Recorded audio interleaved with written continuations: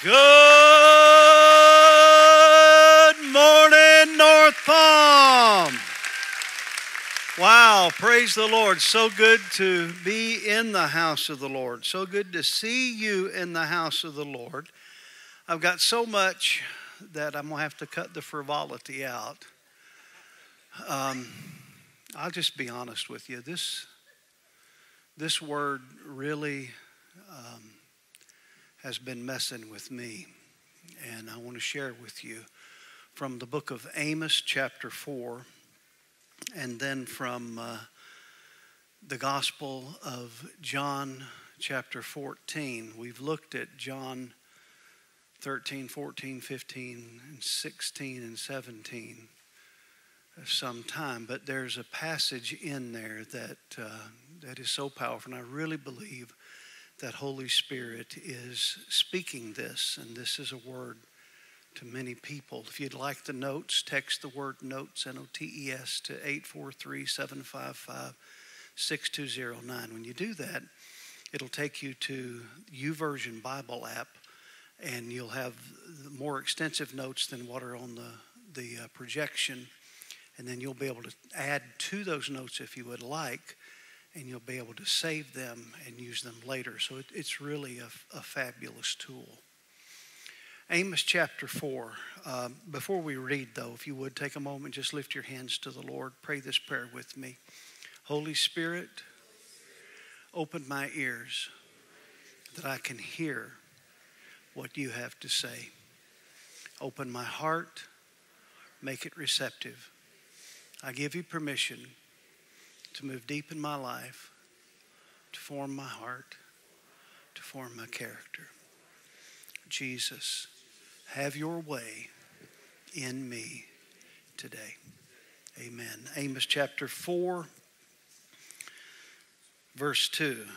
The Lord has sworn by his holiness. Listen to that again. The Lord has sworn by his holiness. Behold, the days shall come upon you when he will take away with fish hooks, take you away with fish hooks, and your posterity, your future generations, with fish hooks. Then turn over to John chapter 14. John chapter 14, verse 30.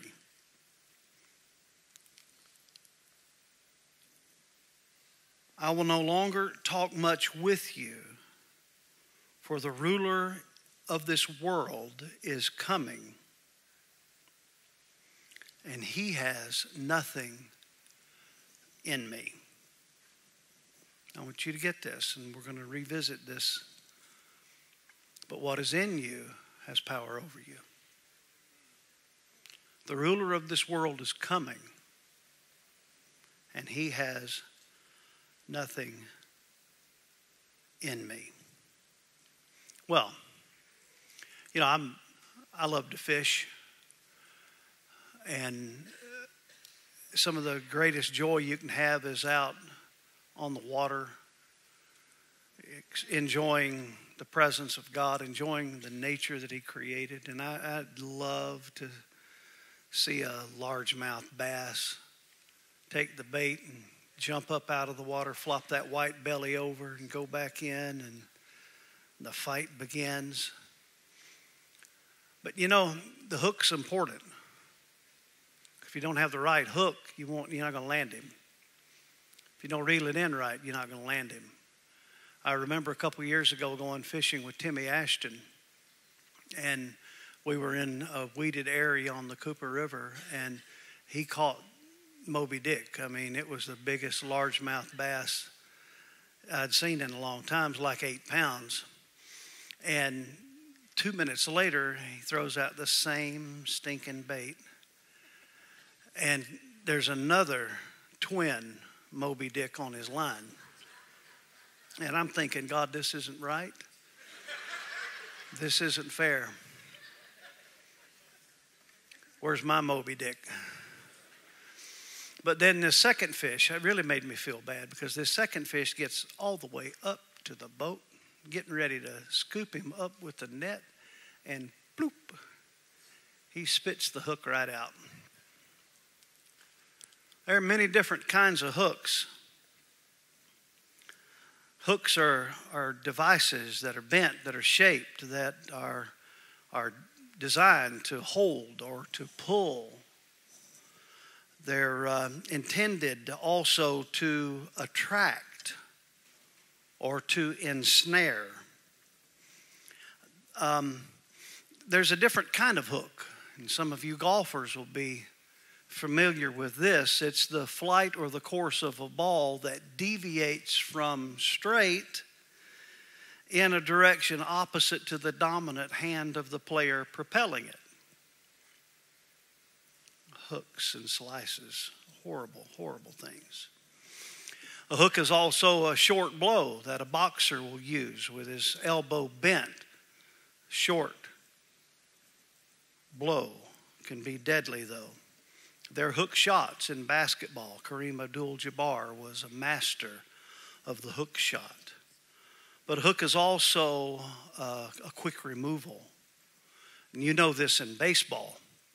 Like when uh, the ace for the Braves is pitching against the Mets and, he, and the the Mets strike out. You know, that's, that's awesome. But then the Mets pitcher comes in and he gives up three back to back home runs and he gets the hook, gets removed. A hook is also a device that's used in music or it's used in writing to grab the attention of the listener or of the reader. A hook is a selling point in marketing marketers, marketing experts know how to hook you. Why do you think you have so many ads on Facebook? You know, one post, three ads. And it takes you 30 minutes to scroll to read 10 posts from friends because of all the hooks that are out there. So you can see that there are many different types of hooks. But listen to me Satan uses hooks to remove your anointing, to impede your progress, to detour your direction, to destroy your destiny, to thwart your purpose, to steal your gifts, to tarnish your testimony, to bring shame to the cause of Christ. Now, I want you to listen to this passage, Amos 4, verse 1 to 3, in the New Living Translation. Listen to me, you fat cows living in Samaria. You women who oppress the poor, crush the needy, who bring who are always calling your husbands, bring us another drink. The sovereign Lord has sworn this by his holiness. The time will come when you will be led away with hooks in your noses. Every last one of you will be dragged away like a fish on a hook. You'll be led through the, the ruins of the wall. You'll be thrown from your fortresses, says the Lord. So when Amos is writing this, and Amos is, could be a, a variation, a shortened form of Amaziah Amaziah means the burden of the Lord. Amos, the burden. Is so care, you be so careful that you don't allow yourself to become the burden. But the theme of the book of Amos is the universal justice of God. That God is going to bring justice. And, and so Israel was living with this expectancy of the day of the Lord when all of their enemies would be judged. And so the prophecy of Amos begins with God dealing with the enemies of Israel.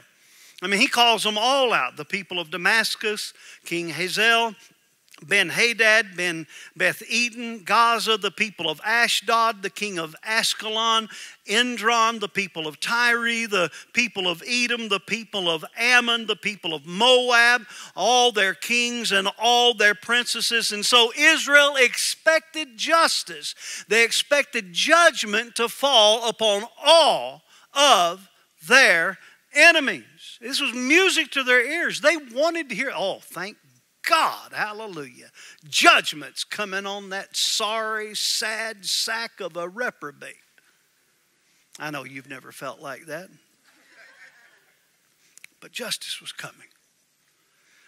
But what they weren't prepared for was that the judgment of that day would also fall on them. So they weren't enjoying some favored nation status. As a matter of fact, they would be held more accountable on the day of judgment than their neighbors. And what they didn't understand was the hook that was in their enemies was in them. The hook that was in their enemies was in them. First Peter. First Peter chapter 4 verse 17. For the time has come for judgment to begin at the house of God, and if it begins with us first, what will be the end of those who do not obey the gospel of God? Listen to that same passage verse 17, but this time through verse 19 in the Message Bible. It's judgment time for God's own family. We're first in line. If it starts with us, think what's going to be like for those who refuse God's message. If good people barely make it, what's in store for the bad? So if you find life difficult because you're doing what God said, take it in stride. Trust Him. He knows what He's doing, and He'll keep on doing it. Matthew chapter 23, verse 28. Even so, you also outwardly appear righteous to men, but inside you are full of hypocrisy and lawlessness. Listen to that passage along with verse 28 in the Message Bible. It says, You're hopeless. You religion scholars, you Pharisees, frauds. You're like manicured grave plots, grass clipped, flowers bright, but six feet down, it's all rotting bones and worm eaten flesh. People look at you and think you're saints, but beneath the skin, you're total frauds. Amos is referring to a place called Bashan. And, and Bashan was a very fertile area, and, and it's an area where the grass grew really green and it grew really thick. And the cows that grazed on this grass in Bashan were known to be the fattest and the plumpest and the best cows around. The wives of the principal leaders of Samaria are referred to here by the prophet Amos as fat cows. And the Lord is saying that even the plump, fat Samaritan women, the wives of their leaders, are oppressing the poor. And so he uses this term that just grabs my spirit. He says, The Lord has sworn by his holiness this is a, a, message, a theme that keeps coming back in Scripture, but keeps being forgotten by church leaders. The holiness of God. The holiness of God. The holiness of God. You see, the holiness of God is a real thing. Now, you may have this generic milk toast image of God that's nothing but mushy love and nothing but tender sentiment and but there's this side of God that doesn't get talked about a lot you don't want to mess with. And that's His holiness. In Exodus chapter 15, verse 11, who is like you, O Lord, among the gods? Little, li- little g, lowercase g, false gods. The Baals, the Asherahs, Molech, the gods of this world, gods of perversion, sexual immorality, gender confusion, gods of abortion, gods of murder, gods of violence, gods of rash. Who is like you among the gods? Who is like you, glorious in holiness, fearful in praises, doing wonders? In 1 Samuel chapter 2, verse 2 No one is holy like the Lord. There is none besides you, nor is there any rock like our God. Isaiah chapter 6, verse 1 to 3 In the year that King Uzziah died, I saw the Lord sitting on a throne, high and lifted up, and the train of his robe filled the temple. Above it stood seraphim. Each one had six wings. With two he covered his face, with two he covered his feet, and with two he flew. And one cried to another and said, Holy, holy, holy is the Lord of hosts. The whole earth is full of his glory. In Isaiah chapter 57, verse 15, for thus says the high and lofty one who inhabits eternity, whose name is holy. I dwell in the high and holy place with him who has a contrite and humble spirit to revive the spirit of the humble and to revive the heart of the contrite ones. In Ezekiel chapter 38, verse 23, but I want you to listen to this from the Amplified Classic. Thus, verse 23, thus I will demonstrate my greatness and my holiness, and I will be recognized, understood, and known in the eyes of many nations. Yes, they shall know that I am the Lord, the sovereign ruler who calls forth loyalty and obedient service. Revelation chapter 15, verse number 4. Who shall not fear you, O Lord, and glorify your name? For you alone are holy. For all nations shall come and worship before you. For your judgments have been manifested. Did you see that? All nations will come and worship before him. All the Muslim nations of the world will come and worship before him. All of the Buddhist and Hindu nations of the world will come and worship before him. All of the nations that are controlled by witchcraft, Santeria, Brujeria, all of the nations of the world will come and worship before him. Do you understand that? Do you understand what Paul said in Philippians chapter 2, verse number 10 that at the name of Jesus, every knee should bow of those in heaven and those on earth and those under the earth, and that every tongue should confess that Jesus Christ is Lord to the glory of God the Father. Every knee, every tongue in heaven the angels proclaim Jesus is Lord.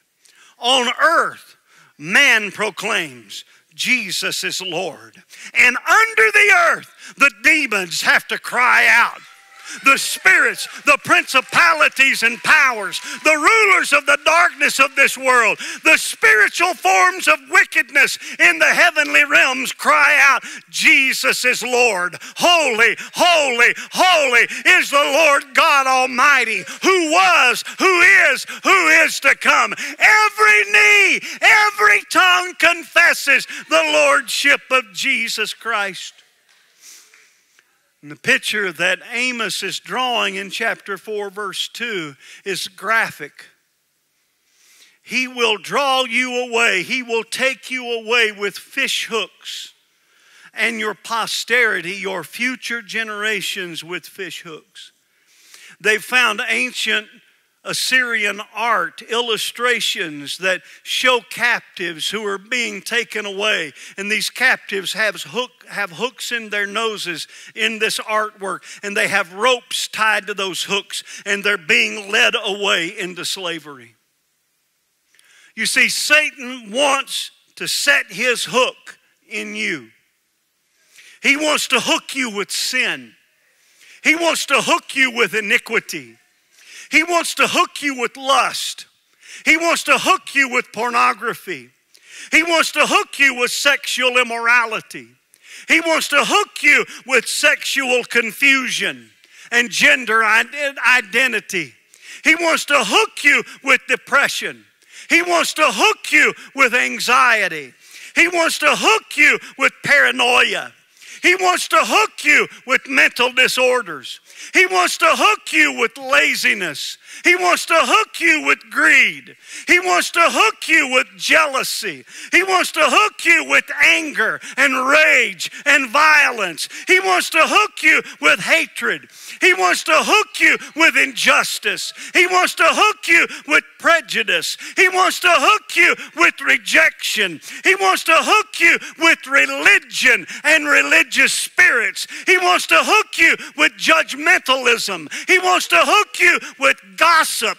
He wants to hook you with backbiting. He wants to hook you with envy and strife and unbelief. He wants to hook you with rebellion. He wants to hook you with self righteousness. He wants to hook you with hypocrisy so that you become a whited sepulchre, a man that has a form of religion but denies the power thereof, who can only see the negative, who can only see the bad, who sees no good in the body of Christ.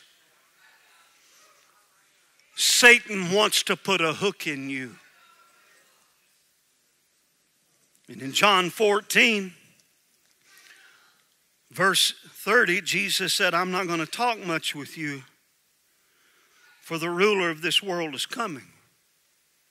Oh, honey, you need to believe Satan's come the gods of Baal, the gods of Asherah, the gods of Molech have come and invaded this age and have taken authority over this age. And we're seeing a manifestation of the ancient gods everywhere you turn. They're everywhere. They're in media, they're in art, they're in entertainment, they're in government, they're in business, they're in the mountain of religion. Oh, don't you, don't you think that the church is immune to the false gods of this age? They've come and infiltrated the church and they've come to lead captives astray. They've come to steal your children. They've come to cause your children to be confused with their gender, their identity, their authority, their purpose. They've come to steal and to kill and to destroy. But Jesus said, I have come that they might have life and that they may have it more abundantly. There's going to be a revival in the confused community. There's going to be a revival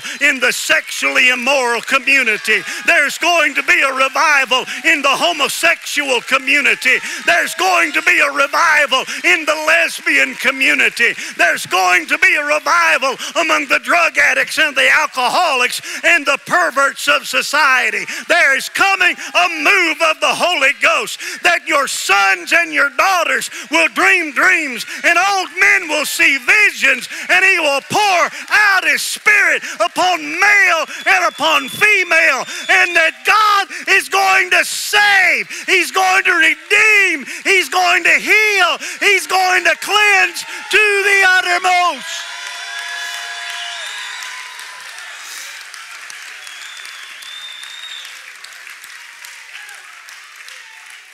We are living in the age of the greatest perversion that has been known to man. But we are also living in the age of the greatest revival that has ever been prophesied in the history of the world. So don't be deceived. Don't be deceived. Your acceptance of sin doesn't cause sin not to be sin. Your acceptance of iniquity does not break the power of iniquity. There is coming a time when the God of justice will move from the heavens. And don't tell me that the God of the Old Testament is not the God of the New Testament. The God that brought judgment to Assyria, the God that brought judgment to Edom, the God that, ju- that brought judgment to all of the lands of the Philistines is the same God who will judge the world, the living and the dead.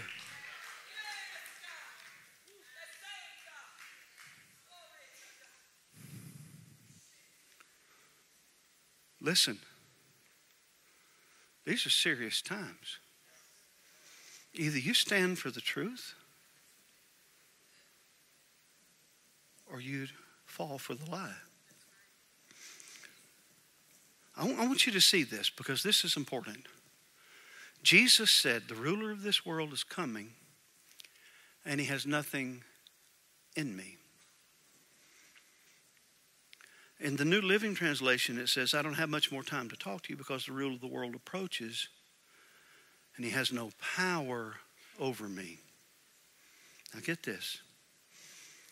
What is in you has power over you.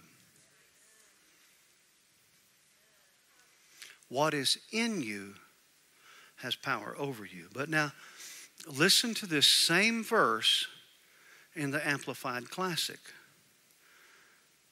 I will not talk with you much more, for the prince, the evil genius, the ruler of the world is coming and he has no claim on me. He has nothing in common with me, nothing in me that belongs to him, has no power over me. What is in you has power over you, and what has power over you has claim on you. Did you get that?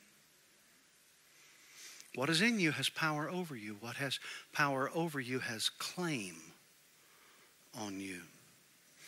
Now, you need to wake up because this is not just the struggle for your salvation, but this is, according to Amos 4 2, the struggle for your generations.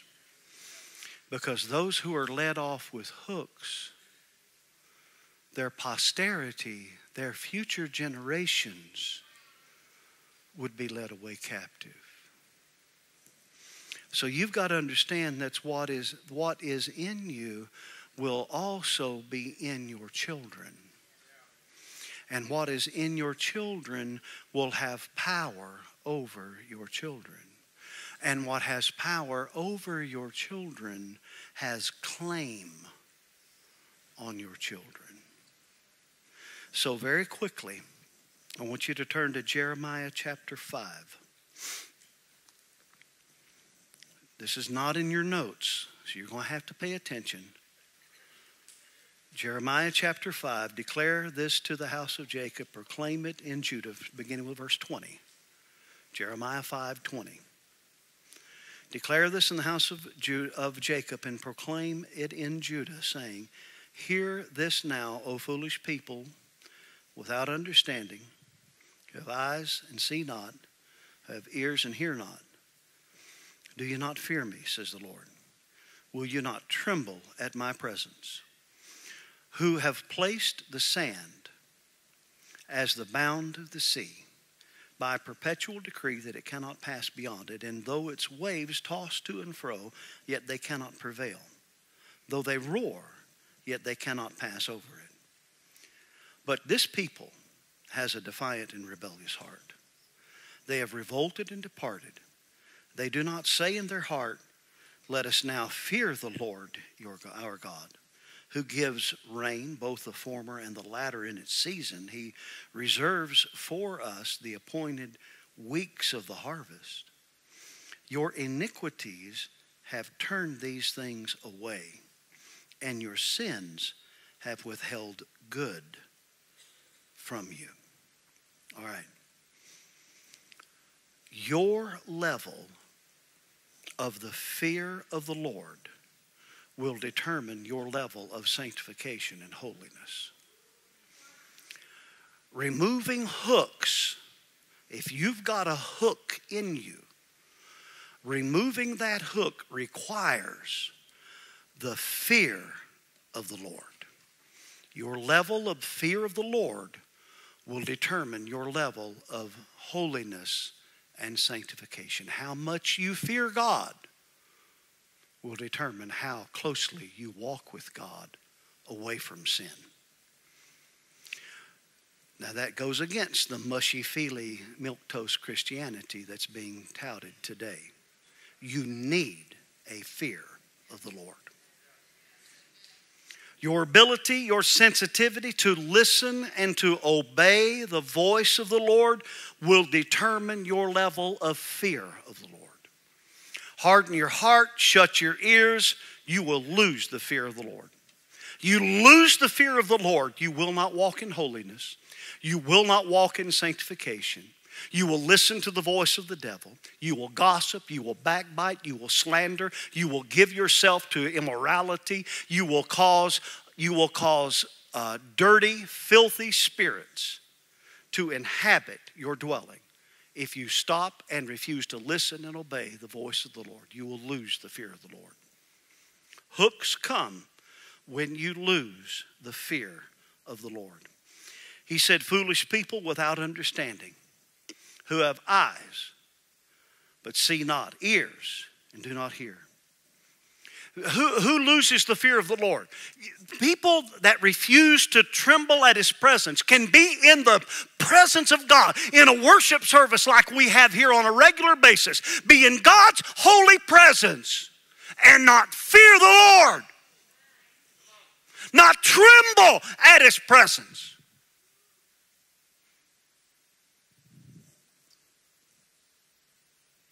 He goes on to say they have a defiant and rebellious heart, revolted and departed.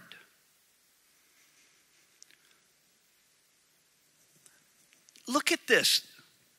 They do not say in their heart, Now let us fear the Lord our God, fear him who gives rain, both the former and the latter rain in its season and reserves for us the appointed weeks of harvest.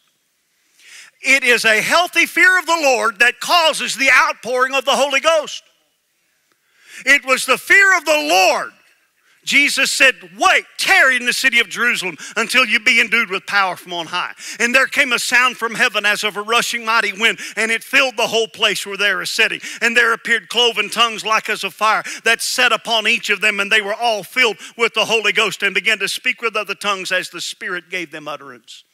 And they descended from that upper room into the streets and saw 3,000 people at the message of the, the message of the cross of Calvary come to Jesus and repent of their sins and be added to the church. It was sponsored by the fear of the Lord. It was the fear of the Lord that took Jesus to the cross of Calvary, that nailed him to the tree, that held him to the tree. He purposed in his heart, Satan has nothing in me. I, I, there's no rejection in me. As a matter of fact, I'll take all of your rejection. There's no sickness in me. I'll take all your sickness. I'll take all your infirmity. There's no iniquity in me. There's no sin in me. I'll take all of your sin. I'll take all of your iniquity. There's no grief, no sorrow that has a hold on me, no hook to draw me aside. No, I'll carry all your grief and I'll bear all your sorrow. I'll take all your suffering. I'll take all your sickness. There is no hook in me.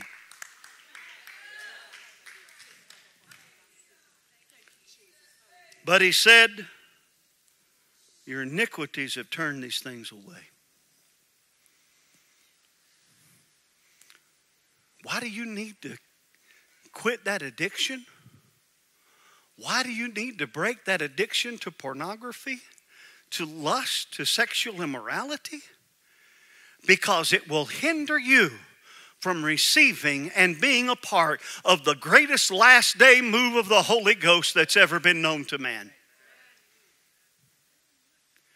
Don't allow your flesh, your mind, or your tongue to cause you to miss the move, the outpouring at this end time harvest. It's coming. It's coming. The power of the Holy Ghost is sweeping across America just like iniquity is trying to dominate. The power of Jesus has come to set free.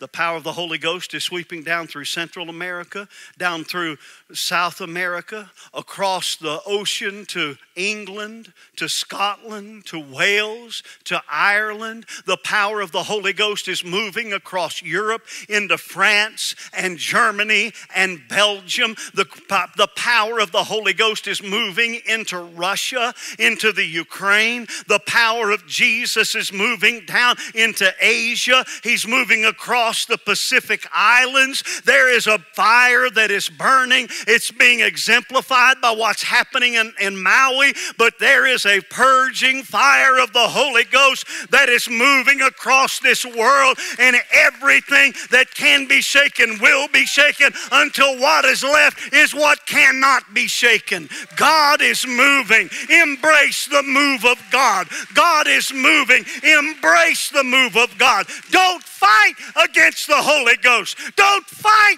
against the move of God. Allow Jesus to purify your mind, purify your heart, purify your tongue, purify your hands, purify your feet. Let every part of your being be sanctified by the power of the Holy Ghost.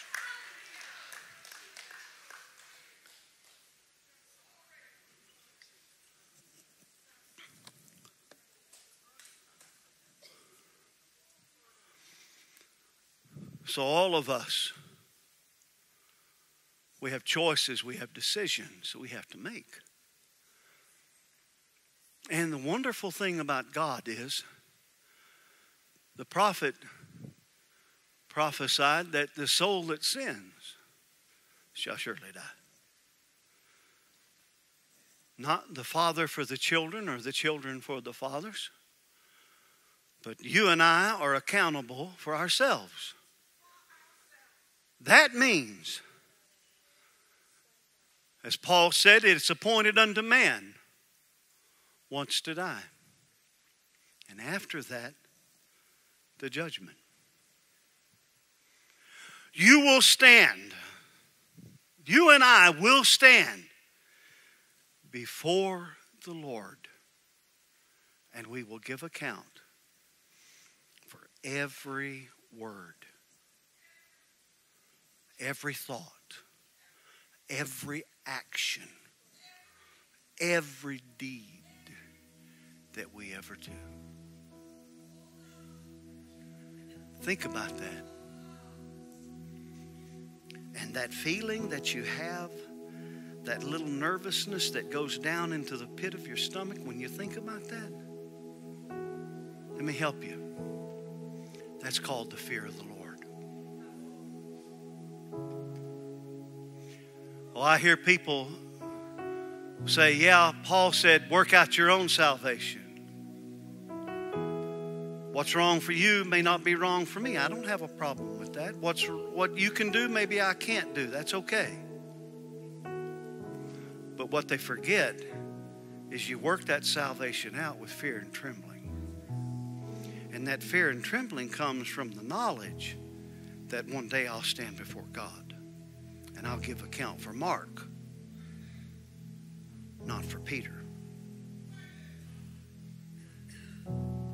So, right now, in the name of Jesus, I just release into this body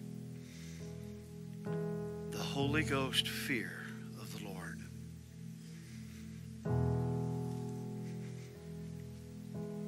May the power and the presence of the Lord come over you. May He come in you. May He fill you. May He overflow you. So that you are not a whited sepulchre. That you are not a grave that looks good on the outside, but inside is rotten and decay, full of dead men's bones. I speak to dry bones this morning, and I say, in the name of Jesus, come together. Come together. You, you, do you not see the first step of life is coming together? Disjointed people in the church, in the body of Christ, I say in Jesus' name, come together. Come together. Come together. Broken, dry bones come together. Come together in the name of Jesus.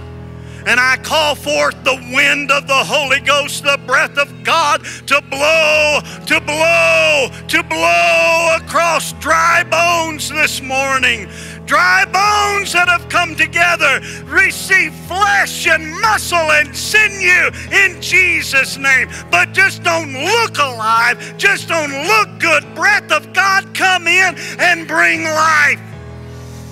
I call forth the fresh wind of the Holy Ghost to come on you, that you will live and not die, that you will declare the blessing of the Lord, that you will walk and achieve your purpose and your destiny in Jesus' name. And I bind the spirits of witchcraft that have been released against you in the name of Jesus. I command them to be broken.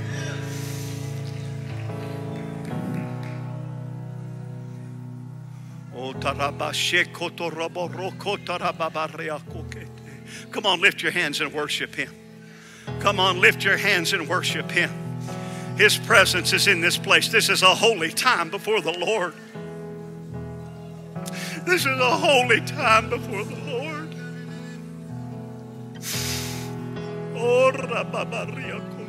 Worship Him. Worship Him in the beauty of His holiness. Come on, worship Him. He's holy. He's righteous. Worship Him. He who sits on the throne, He is enthroned in the praises of His people. He inhabits the praises of His people. Come on, worship Him. As you worship Him, He's setting some of you free from addictions as you worship Him, He's bringing, He's taking that confusion from your mind and He's removing it. No longer will you be bound by iniquity and perversion in the name of Jesus. Gender confusion has to leave in the name of Jesus. The gods of Asherah have to fall and bow. We will not entertain those that sit at Jezebel's table any longer. We proclaim a revival of the Holy Ghost in Charleston. This is the holy city that belongs to Jesus Christ. Oh,